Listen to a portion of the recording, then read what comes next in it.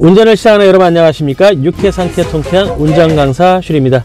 아, 이번 영상은요 초벌 탈출 운전 매뉴얼 17번째 시간 차로 유지에 대해서 말씀을 드릴까 합니다. 뭐 일명 차선 맞추기라고도 하는데요. 차선 맞추기는 잘못된 말이고요.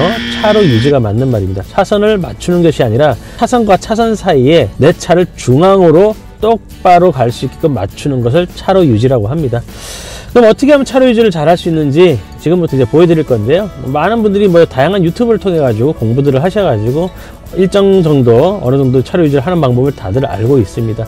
어, 다만 그 방법들이 옳다 나쁘다를 말하기 전에 그 방법이 위험하느냐 위험하지 않느냐만 제가 설명을 드릴까 합니다.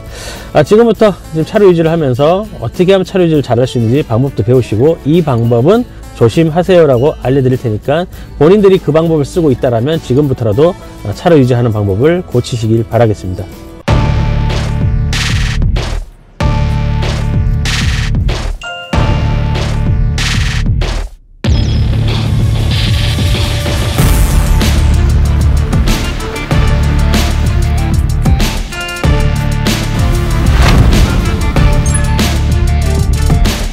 자, 전방을 한번 잘 보시면요. 저는 지금 3차로에 차를 세워놓고 있습니다. 자, 1차로, 2차로, 3차로 서 있는데, 자, 도로를 절반을 자릅니다. 자, 절반을 자르면 내 몸이 이 절반에서 약간 요 정도 왼쪽.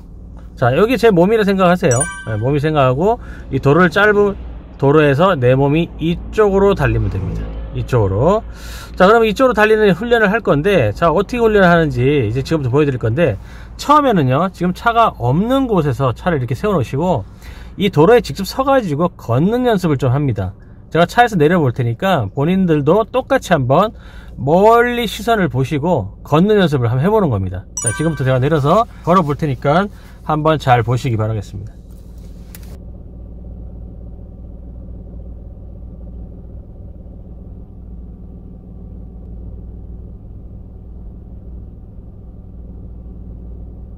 자 제가 주행 중에 있는데요. 방금 우리가 도로에서 걷는 연습을 했습니다. 그죠?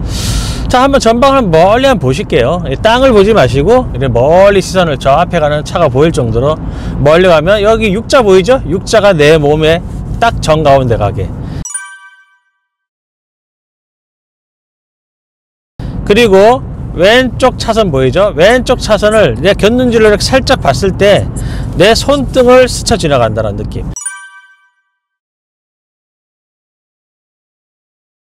대시보드 보이죠?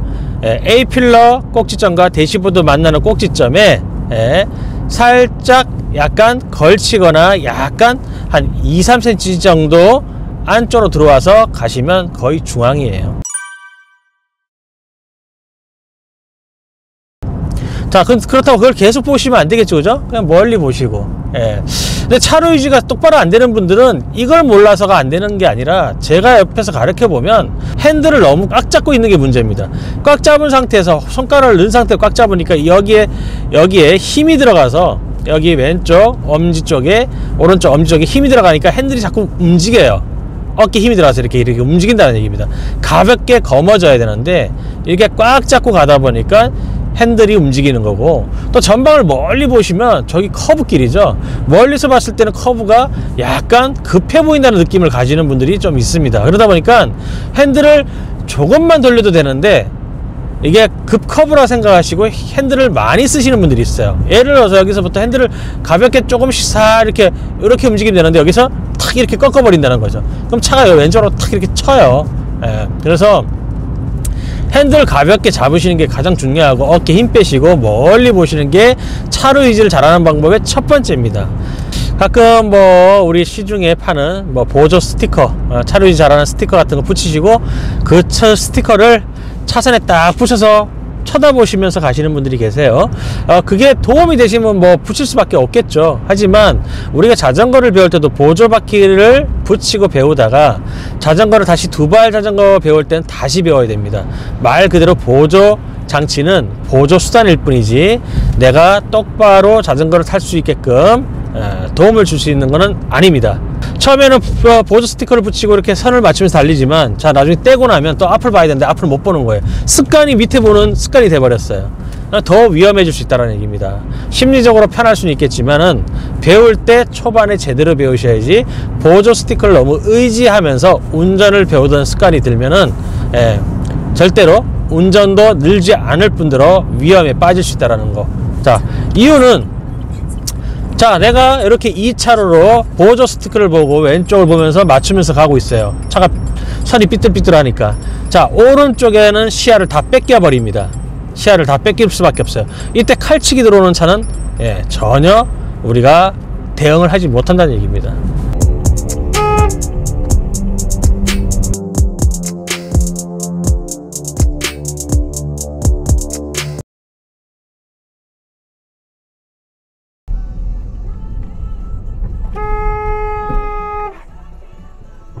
자, 우리가 후방 카메라가 있는 차로 주차를 하던 사람이 후방 카메라가 없으면 주차를 어려워하죠. 똑같습니다. 예. 보조 장치가 없이 운전 실력을 키우셔야 정말 운전 실력도 빨리 늘고 잘 할 수 있습니다. 그래서 보조 스티커 어, 저는 다는 걸 찬성하지 않습니다. 하지만 본인이 심리적으로 어, 편하다면 다십시오. 단 당신의 생명을 책임질 수는 없습니다. 예, 도로에는 많은 시한 폭탄들이 존재하기 때문입니다. 그럼 차로 유지 잘 안 되는데 그럼 어떻게 하란 말입니까? 라고 예, 반문을 하실 수 있습니다. 자, 그래서 지금부터 차로 유지 잘하는 방법 어, 알려드리겠습니다. 첫 번째, 핸들을 가볍게 잡으세요. 이 핸들 자체를 너무 꽉 잡으니까 문제가 되는 겁니다. 자, 핸들 지금 커브 앞에 잘 보시면 커브길이에요. 그 커브길이니까 핸들을 뒤늦게 탁, 탁 꺾는 분들이 있어요. 이거 차선은 바로 탁탁 꺾이는 예, 꺾선이 아니라 곡선입니다. 부드럽게 이어지는 예, 꺾은 선이 아니라 곡선이라는 얘기입니다. 그럼 핸들도 곡선처럼 부드럽게 움직여야 되겠죠, 그죠? 예, 그래서 핸들이 길이 커브길이면 핸들도 마찬가지 미세하게 미세하게 움직여야 되는데 이 엄지손가락에 힘이 너무 많이 들어가 있다 보니까 엄지손가락이 많이 들어가 있다 보니까 이 여기에 힘이 가해져서 핸들을 탁탁 마네킹처럼 꺾는 거죠 그러다 보니까 차는 부드럽게 자연스럽게 굴러가고 있지만 예, 이 엄지손에서 탁탁 꺾이다 보니까 자꾸 차로 이탈이 일어나는 겁니다 예, 그래서 첫 번째는 핸들을 가볍게 잡아라. 음, 핸들을 가볍게 잡아라. 이건 정말 중요한 겁니다. 자, 두 번째. 자, 두 번째는 우리가 시선을 멀리 봐야 돼요. 근데 시선을 너무 땅을 쳐다봐요. 우리 자전거 배울 때 한번 생각해 보십시오. 땅을 쳐다보고 자전거를 배우셨나요? 아니면 멀리 전방을 보고 자전거 페달을 밟으라고 배우셨나요? 분명히 예, 전방을 멀리 보고 페달을 밟으라고 배우셨을 겁니다. 자, 땅을 쳐다보는 예, 친구들이 자전거를 늦게 배워요. 빨리 배울 수가 없습니다. 자, 자전거를 빨리 배우는 방법도 마찬가지예요. 전방 시야를 멀리 봐야 돼요. 제가 늘 아들한테 가르칠 때 페달을 힘껏 밟으면서 땅을 보지 말고 멀리 보라. 저 멀리 신호등까지 보여야 됩니다. 저 앞에 하얀 차가 보여야 돼요. 근데 보조 스티커 보고 맞추고 있으면 어떻게 되죠? 안 되겠죠. 예. 자, 그래서 시선을 멀리 봐라. 아, 시선을 멀리 봐야 차로 유지를 잘 할 수 있다는 거. 자, 세 번째. 두려워하지 마십시오. 두려워한다는 겁니다. 두려워하다 보니까 어떤 두려움이 생기죠? 내가 똑바로 가고 있나? 하다 보니까 시선이 어디로 가죠? 항상? 예, 사이드 미러로 가는 거죠. 똑바로 가는지 궁금해서 사이드 미러를 쳐다봐요. 하지만 저 사이드 미러를 쳐다보면 저 선은 나의 내 차의 뒤 엉덩이 쪽에 선이죠. 그죠? 내 엉덩이에 있는 선입니다. 아, 그래서 그걸 맞추면 늦어요. 아, 항상 앞을 전방을 보고 맞추시는 거예요. 그죠? 그래서 전방을 보고 맞추시는데 자꾸 불안하다 보니까 어, 내가 똑바로 못 가고 있나? 뒤에서 빵빵하진 않을까? 어, 또 옆에서 차 오면 부딪히지 않을까? 같이 나란히 달리면 부딪히지 않을까? 이런 두려움 때문에 시선이 자꾸 뺏기는 거예요. 전방을 놓치는 거예요. 하지만 도로는 구, 구부러지죠? 내가 전방을 놓치는 순간 도로가 삐뚤하면 어떻게 되죠? 차가 오른쪽으로 쏠릴 수밖에 없습니다. 그래서 예, 불안하게 두려워하지 마시고 불안하지 마시고 전방을 똑바로 보고 가시라는 겁니다. 자, 차로 유지 잘하는 방법 네 번째 옆에서 쌩 오른쪽에서 쌩 좌측에서 쌩 날려가는 차를 예, 보는 건 좋은데 봤으면 빨리 원위치로 시선이 돌아오십시오. 계속 쳐다보고 있지 말라는 얘기입니다. 특히 대형 화물차가 지나갈 때 대형 화물차가 지나갈 때그 차가 혹시 내 앞으로 들어올까봐 두려워서 그 차를 오랫동안 쳐다보시는 분들이 계세요. 그 오랫동안 쳐다보게 되면 저 앞에 전방이 직선이 아닌데 내가 오랫동안 쳐다보고 있으면 어떻게 되죠? 예, 당연히 차로 이탈이 생길 수밖에 없을 겁니다. 특히나 우리 일반 이런 도로는 수평이 아니에요. 약간 우측으로 기울어지거나 좌측으로 기울어져 있습니다. 아, 그래서 핸들을 가만히 잡고 있으면 똑바로 갈 수가 없어요. 도로도 삐뚤 뿐만 아니라 아, 수평도 맞지 않습니다. 이유는 비가 오면 빗물이 빠져야 되겠죠. 자 여기는 수평이 왼쪽으로 기울어져 있어요. 그래서 이게 가만히 직선이라도 핸들을 가만히 놓고 있으면 왼쪽으로 쏠릴 수밖에 없어요. 이거 약간 가볍게 잡으면서 조절을 해 주셔야 돼요. 예. 그래서 지금 왼쪽 쏠리죠, 그죠? 쏠립니다. 왜냐하면 수평이 살짝 왼쪽으로 기울어져 있는 도로이기 때문에. 자, 다섯 번째, 가끔 시야를 예, 분산시키세요. 분산. 무슨 얘기냐면 내가 앞만 똑바로 보면 똑바로 못 가요. 예, 가끔 시야를 분산을 시켜서 왼쪽 차선이 내 A 필러와 대시보드 꼭지점 라인 안에 들어있는지 자, 이 왼쪽 선이 이 A 필러와 대시보드 꼭지점 안쪽에 꼭지점부터 안쪽 5cm 이내에 있는지 5cm 있는 이- 저 아파트 스티커 보이죠? 그 스티커에 맞춰서 간다는 느낌이 들면 되는 거예요. 5cm. 그래 가끔 시선을 가는 거예요.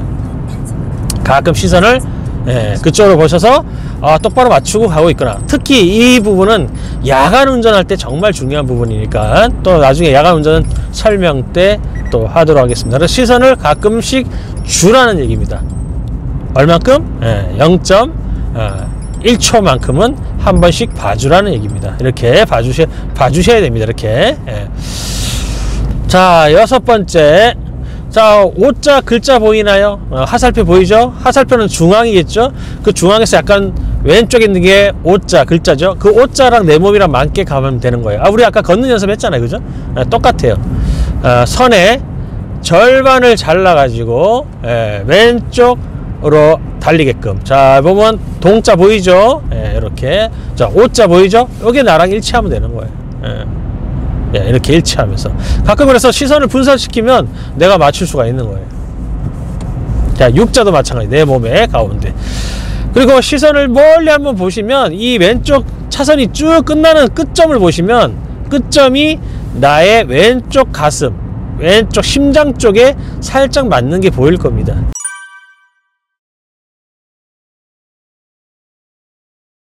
그리고 왼쪽 이 선이 이렇게 보면 손잡은 왼쪽 9시를 보면 이렇게 스쳐 지나가는 게 보일 거예요 이렇게. 예, 이런 느낌으로 지나가는 보일 겁니다. 그렇다고 이걸 계속 보고 있으면 안 되겠죠? 예, 겼는지를 뭐라는 얘기입니다. 그리고 뭐 다양하게 뭐 학원에서 오른발 엑셀 밟은 발이 중앙으로 가라고 하는데 중앙으로 가면 이 정도까지 들어와 버려요. 그래서 중앙으로 가는 거는 별로 저는 추천하지 않습니다. 차로 유지 정리해 드립니다.